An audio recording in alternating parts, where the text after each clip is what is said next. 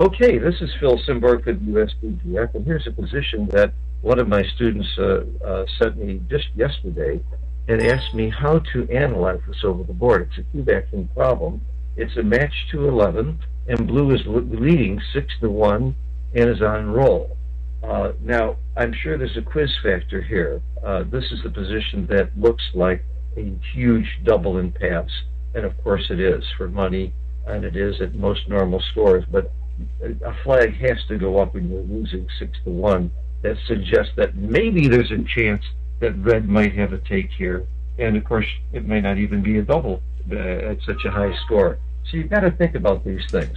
Now, the first thing I did was try to come up with my own method of seeing uh, the, what the cube action is, and I actually did a fairly good job, but I missed a few uh, technical things, and I, I, wasn't entirely right.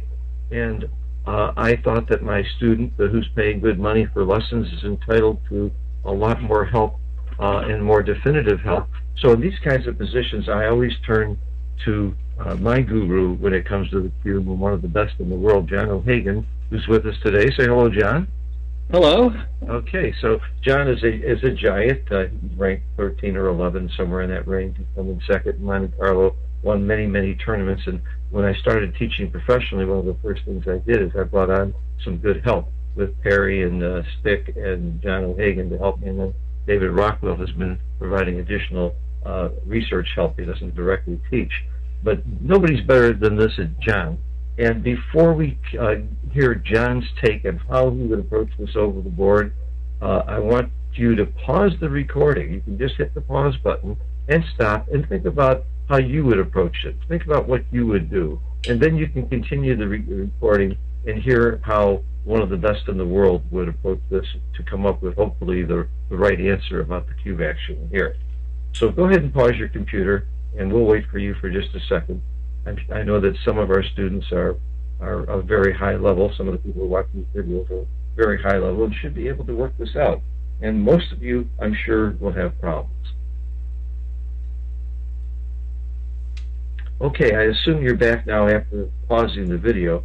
I want to tell you just a quick, brief overview, uh, 10,000 feet overview, and then I'm going to let John get into the details we all know that when you're thinking about doubling or thinking about taking the cube, the first thing you need to know is your take point.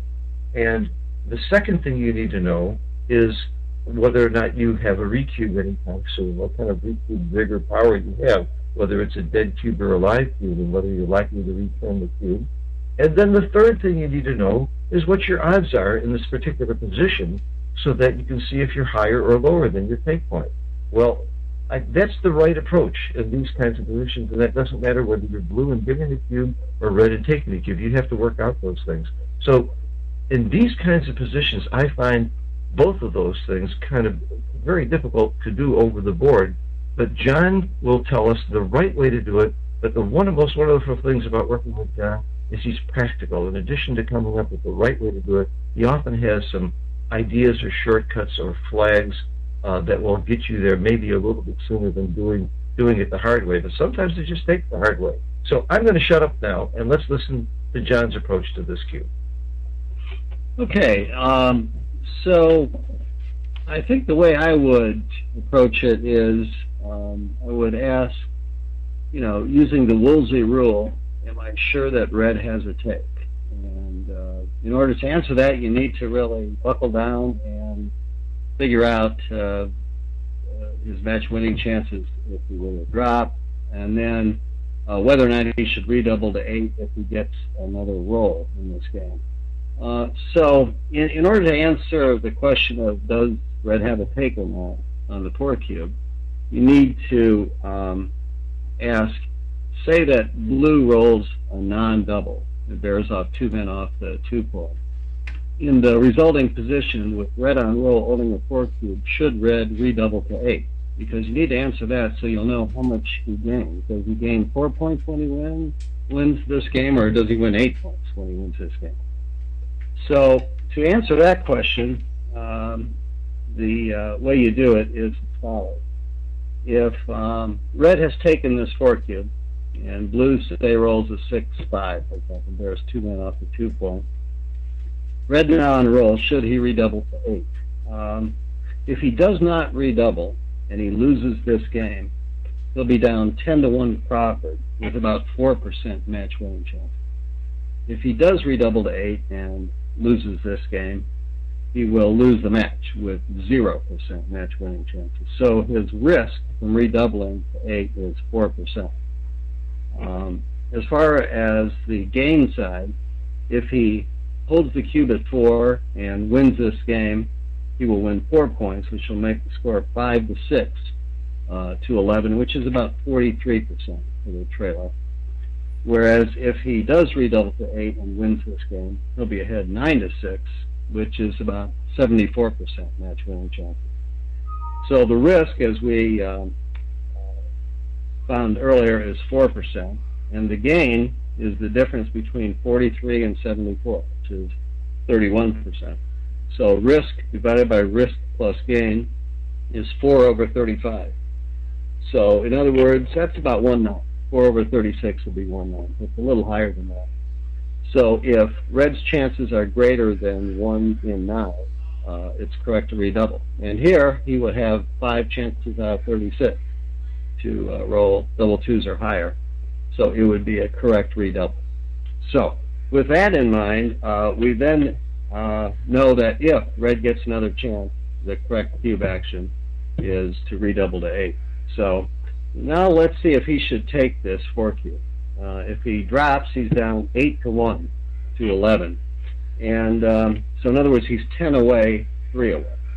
And at scores like this, I always use a Neil's number kind of an approach. And when the trailer is 10 away, Neil's number is five and a half. What that means uh, is let me let me just show you Neil's numbers because I use it too, and this is a chart of Neil's numbers. Uh, it's a shortcut that gets you close to what your match equity is at any given score. So with this chart, it tells you uh, that when someone is 10 away, you take the difference of the score and you multiply that difference times 5.5 and then you either add or subtract that to or from 50% to see each side's winning chances. And rather than memorizing every single possible match equity from 0, 0 to 15 away, 15 away, uh, and so on, which very few people in the world can do, this shortcut will get you there much easier and quicker as long as you can memorize this list of numbers. And it's not that hard. I even a guy like me has memorized these numbers now. Okay, John, go ahead. Yeah.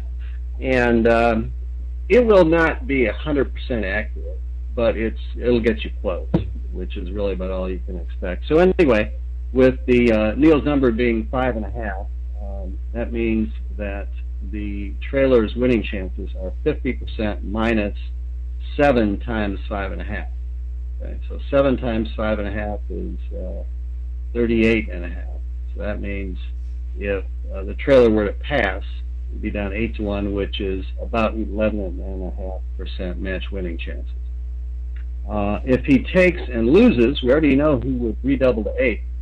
Uh, so that means he will lose the match with 0%. However, there, there's a small other little angle here, too, in that uh, if blue redoubles to 4 and red takes, if blue rolls double twos or higher, blue will just win so you won't redouble to eight. Okay. But uh, to keep things simple over the board, um, I would just sort of keep that little sequence in the back of my mind. And if the decision is otherwise very close, I would have to factor that in. Okay? Well, isn't, now, there, isn't there another factor you keep in the back of your mind? What if blue rolls two ones in a row? Okay, I'll get to that in a second. Here. Oh, okay. Go, go ahead. And then, um, so for now anyway, we're going to say if uh, red passes, his match winning chances are 11.5%. Take and lose, zero, even though we know it's actually a little bit better than that. For now, we'll just say zero. And if he takes and wins, he's going to win eight points. So he'll be ahead nine to six, which is about 74% match winning chances. So um, the take point for red is then about 11.5 divided by 74, which is a little over 15%. Okay. And as I said earlier, it's actually a little bit lower because if uh, blue rolls one of those five good doubles on his first roll, you won't lose the match. You'll be down 10 to 1 with about 4% match winning chance. Okay, but that only happens on five of his wins. All the other wins, you lose the match. So it's kind of a minor point, but we'll get to that later. If it is otherwise close, we'll want to factor that in. Okay, so uh, we think the take point's a little over 15%. Okay, so next question is, how often does red win this position? And uh, really, there are only two sequences. Um, number one, blue rolls one of the 31 non-doubles, and red then rolls one of the five good doubles. Okay, so that's 31 times 5, which is 155 over 1296. That's uh, 31 divided by 36 times 5 divided by 36. So that's 155. And the second sequence is um, blue rolls a single ace, and uh, red rolls a non-double, and then blue rolls a, an ace again and loses. Okay. And so how often does that happen? Uh, blue rolls a single ace 10 over 36. And we're, the reason, by the way, we're the reason it's ten instead of eleven is because double ones uh, will still work for blue. Right. Exactly. So they, uh, a single ace is 10 over 36. A non-winner for blue occurs 31 out of 36. So that's uh, 310 divided by uh, 1296. And then blue has to roll a single ace again, which happens about 28% of the time. So in other words, that's about another 88 over 1296. That's uh, because 28% of 310 is about 88. Okay. Uh, 30% of 310 would be 31. Well, would be 93. I'm sorry. So it's a bit less than 30%. So that's that's how I come up with 88. So the total chances of uh, red winning um, is 155 plus 88, which is 243 over 1296. Okay. So in terms of percentages, 1296, notice that 130 is about 10% of 1296, right? So in other words, 260 would be 20%, right? And here we're at 243. So we're uh, a little less than 19%. Okay? So therefore we know that uh, red should take because even if, even though we know we overestimated his take point as a little over 15%, he actually wins almost 19%. Okay? And we know his true take point because of the thing that if blue rolls a double twos or higher on its first roll, um, that uh, red doesn't lose the match. He's close to it, but he still has about 4% match winning chances. So um, we know that uh, red's take point is a bit less than 15%, and he wins almost 19%. So it's certainly a take. Okay, let me ask you some questions and add some comments, uh, and uh, maybe we can simplify this some because what you did is something that I think very few people in the world could do over the board. My first question is: Is this exactly how you would do it over the board? Yes. Yes. Yeah, yeah. This is your approach. So uh, it took you what about uh, seven, eight minutes to do this. Would it take you that long over the board, or does it take you longer when you're explaining it to us like this? Um, that's about how long it would take over the board. Okay, so if you're playing with the clock, you're going to have to use up about seven or eight minutes of your time uh, over the board to make this cube decision. Yeah. And and, Right. and I mean, Go this is an important decision in a match. Talking about a four or an eight cube. yeah, well worth it taking the time. Yeah. Exactly. Uh-huh. And you might rush yourself a little bit more with the top running, and you might Yeah, take a, absolutely. a I few more. You might round off some numbers and shortcut a little bit. Yes, exactly. I mean, if I'm low on time, I would just have to do a, uh, you know, my sort of first impression would be would would be a redouble take. By the way. Okay. Now, the next thing we're going to do is check John's work, and then I'm going to get into a few other things that John uh, talked about and some that were alluded to, and then I'm going to tell you how I did this over the board. I would have gotten this right over the board, but nowhere near as accurately. And part of the reason I got it right was some luck, because a couple of the things I did, as I mentioned, I didn't do exactly right. But if I had taken the time, I'm going to be very honest with you now. This is one of the reasons why John is one of the top players in the world, and I'm not. I'm a very good player, but the, this is a, a real classic example of the difference between a John O'Hagan and a Phil Simborg. I would estimate and come up with some methodology to give me a pretty good clue as to what to do here, while John will get it right. And the difference is going to be when it's not close, we're probably both going to get it right. And when it's close, he's going to get it right a lot more often than I will. First of all, let's make sure he's right. Let's hit the button.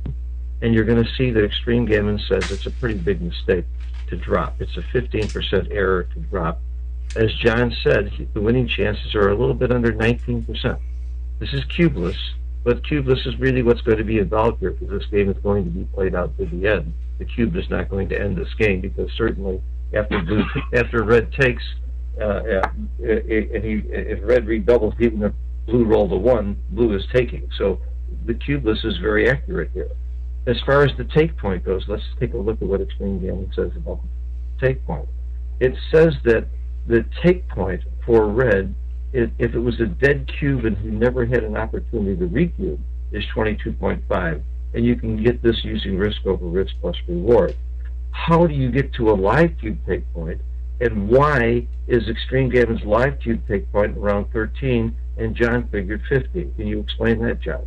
Well, I, actually, I said it'd be a bit under 15. And um, yeah, a couple of reasons. Number one, um, the uh, Neil's number is a little bit off at the score of 3 away, 10 away.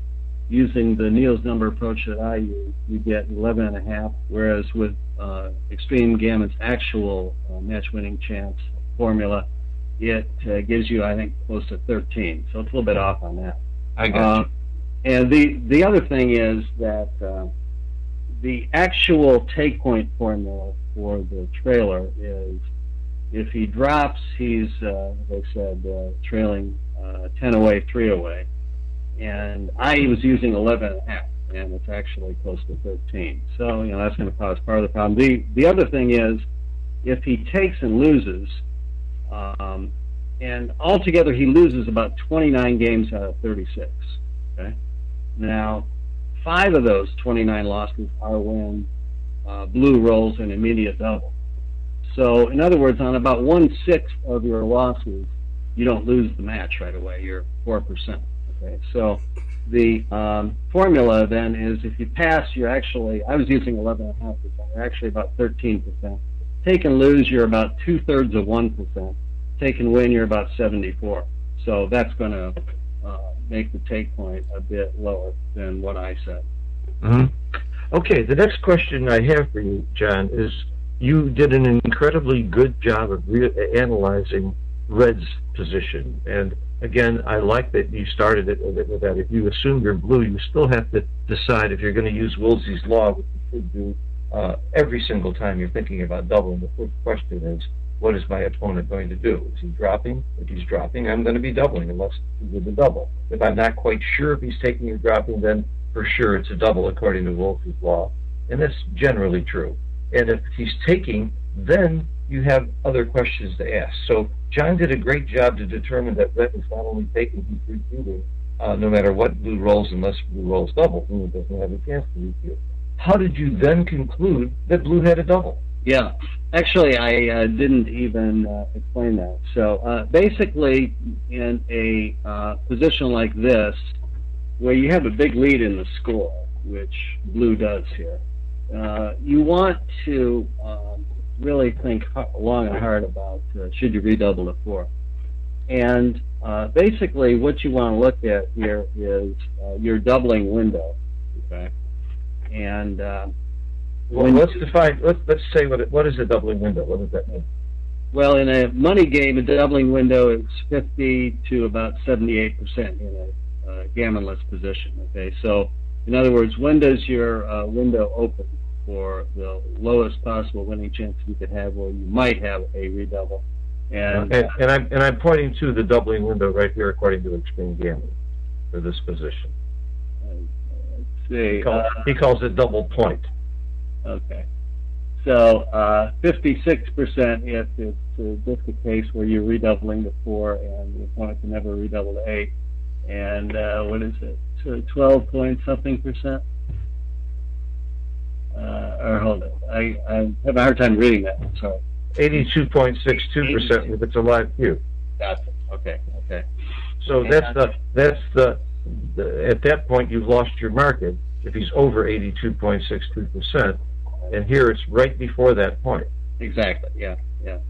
And uh, so basically, um, in this position, though, that first figure of the 56% doesn't really apply because, for the most part, uh, you're going to be talking about an 8 cube, not a 4 cube, because the opponent will always redouble to 8 if you get the chance, which is what happens in you know vast majority of the times. So uh, basically, the uh, minimum redoubling point using Extreme Gammon's actual numbers uh, is about 76.5%. And then the um, um, the other end of the window is the number you just showed, the 82 point something percent. Mhm. Yeah. Okay. And so you're you're real close to that, and also the game's almost over, uh, which is another reason to uh, redouble. So you're Okay. basically close enough to the high. Now, in in a live tournament, you can't take out a pencil and a paper and a calculator and say, well, let's see, if I don't redouble, these, these are my next winning chances. If I do redouble, uh, you know, this is the. Yeah, it's all going to be done in your head. Like, Um, you just, so in in this case, I would just say, look, I'm close enough to the high end of the of the window. The game's almost over, uh, and some people will drop. Uh, so it's got to be a redouble. okay. There's another major reason you must redouble, and that is you're going to get lots of drops. If you Yeah. use Woolsey's law here and you say, should I, should I take or drop, even if you come to the conclusion that you're sure you can take, that you're sure you should take this cube and redouble, you must at least come up with the idea that many people will drop this cube and you're going to steal two points. And when you do, your opponent has made a 15% error. And anytime your opponent makes an error, that increases your match equity. That's just a, a given. You want to make it hard for him. If you don't redouble here, you don't make it hard. You let it off. He has no problem. You give him a real problem when you redouble, and that's the problem that most of us have here. Should we be taking this cube? Now, let me tell you my approach to this, and I'll tell you why I don't use John's approach. First of all, I'm not real good at, at dividing things by 1296. John showed you when he did it how he uh, he rounded off and he said that 130 is about uh, a, a 10 percent and so on. And and if you get in the habit of doing it, it really isn't brain surgery. It isn't that hard. You don't have to be a mathematical genius to do these kinds of things because there's too many really top players out there who are not mathematical geniuses that just with enough practice learn how to do these things. But even I would say that if you take the top 32 players in the world, the Giants, I would say maybe half of them, at the most, would go to, into this detail uh, and use John's uh, very, very accurate and correct methodology. Would you sort of agree with that, John? Um, I think you're about right. Yeah. Okay, about half. So who knows? But a bunch of very, very top players uh, would estimate this without getting into it just by feel, because this really isn't that close. You're, the difference between a take and a drop here is pretty big, and it shouldn't take that long. And that's how I came to the right conclusion. But let me tell you how I did it. I use reference positions, and uh, and so do many top players. I happen to know that a two-roll, two-roll position is about 14% for the take. That's the odds if this was a two roll, two roll position, and I'll hit the button and prove to you that I'm right, if blue were to double here, the odds of red winning, and he only wins when blue doesn't roll a double and he does, is about 14%. And I know that this position that we were looking at originally, hit Control V and put it back, has got to be slightly better than that because of the chance of red, uh, blue rolling two ones in a row. So what I did wrong was I said, well, the odds of rolling one one, uh, one one is ten thirty six, and two in a row is ten thirty six times ten thirty six, and that's twenty eight percent. That's twenty eight percent, around eight percent. Except what I forgot, and what John pointed out, is that sometimes he doesn't get to roll the second one because sometimes red actually rolls doubles, so that blue doesn't roll the second one. So I factored in a little bit too much uh, for that, but I still was able to come up with that I knew that red wins this game more than 14%. So all I had to do was see if I could come up with a take point that was less than 14%, and and then it would be right. Now, my experience tells me that if I'm way behind in the match and I'm looking at a four cube, especially if I can recube the eight, that my take points are often very, very low. I've seen take points of 4 and 3% and 6% and 8%. So that's why my flag went up that this might well be a take. And I actually did use Neil's numbers and I came up with the right decision that I would take this cube. Here's where I had a real problem though. I didn't know if I would have a redouble if he doesn't roll a one. I wasn't sure after blue just took two checkers off if I'm still redoubling. That was where I was getting into real difficulty in the calculations. I knew if he rolled a one, it's a no-brainer that I redouble it. But if he didn't roll the one, I really wasn't quite that sure. And that's where you really have to be able to do the kind of math that John does. And again, that separates the men from the boys or the Johns from the Phils in these kinds of positions. Now, for those of you who are depressed because you think you might have to be able to do that kind of math and to become that good to be a top player, uh, rather than be depressed, you should be motivated. What I did when I first had conversations like this with John several years ago, and even before that, I was taking lessons from from Kit, who was also incredibly mathematical, and he's one of the giants that I would uh, know would actually do the math over the board just like John does. I I got very depressed about it, and I just started saying, "Oh, oh I'm just not going to be that good. I'm just, gonna, I'm just going to estimate these things and hope for the best, and hope they don't come up that often, and hope I get them right." And that's what I did for many years, and sometimes that was right, and sometimes that was wrong, and that's why I was a 7.0, and 8.0, and 9.0 player. And now I'm a little better than that uh, as a result of sharpening the pencil and other things. But something else happened to me. I, I spent a weekend with Art Benjamin, who is uh, the guy who wrote uh, The Secrets of Mental Math and Math Magic. And he inspired me to, he autographed this book for me, The Secrets of Mental Math and I started reading it, and I started finding out that multiplying and dividing by three-digit numbers is really not that complicated.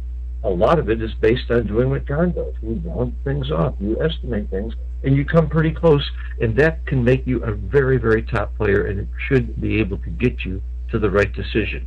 So even though I was wrong in the methodology and didn't quite get it right, I was able to come up and would have over the board come up with the right cube decision in this position. But it's tricky. It isn't that easy. Let me just show you how complicated this can get.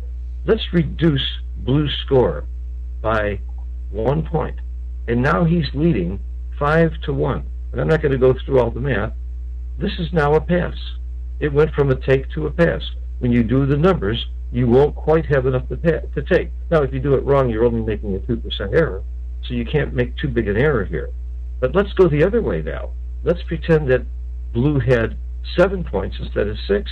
In this case, it would be a big mistake, a huge mistake to redouble.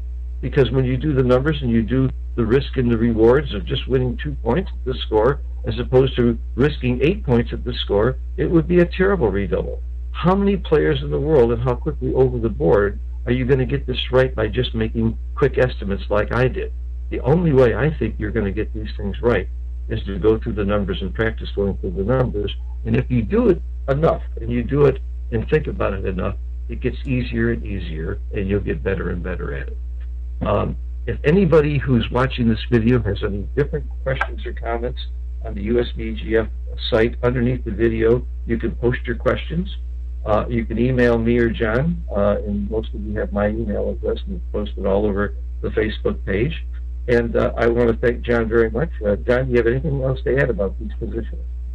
Uh, one, one other last comment. Um, all of this is based on the assumption that these are two even players, uh, which sometimes is the case, sometimes it's not the case. So um, it's a no-skill position. So um, if one player or the other is a lot better or worse than the other, that could change things but uh, we're basing this on 2 uh-huh. even players. Well, I'll show you exactly where it changes things. At the score that I told you it was a 2% error to drop, I'm sorry, that's going the other way. At this score, it's a 2% error to pass. If your name is Phil Simborg and you're playing John O'Hagan, it's right to take this cue. Right. Or if your name is if your name is Mr. So and So and you're playing Mochy or or one of the top players in the world, you can easily be right. To, In fact, you should take this cue even though it's a 2% error to drop it. It's your best shot at getting back in the match against a player who's going to outplay you the rest of the match anyway. And it, like John says, it's a no-skill position. Nobody's going to misplay the checkers here. So uh, in these kind of positions, what I have seen is the better player making huge mistakes and not doubling. But I, I one of the things I've always admired about Falafel, and I've played him a few times, is even though it's a small double and he knows he's a much better player, he's still trying to do the technically correct thing and, and, and give the cube anyway. He doesn't play the opponent that much. Some people criticize that. Some people say he should. And uh, it's a double-edged sword. But John's point is that, that you do have the human factor. I pointed it out earlier, and that's another reason that you double because you might get a drop. Well, this is another reason to take if you're the poorer player. Now, if you are the much better player in your red here, it would be a very big mistake to drop. You want the match to last as long as possible. You want to play as many games out as possible, and you don't want to be looking at an eight cube in a, in a no-score position. Um, okay, John, thank you very much. This was a very enlightening analysis. We've done many like this over the years. Um, thanks to the USBGF for making this format possible, and uh, we will see you again uh, soon with other uh, uh positions and in upcoming tournaments. Okay. Uh,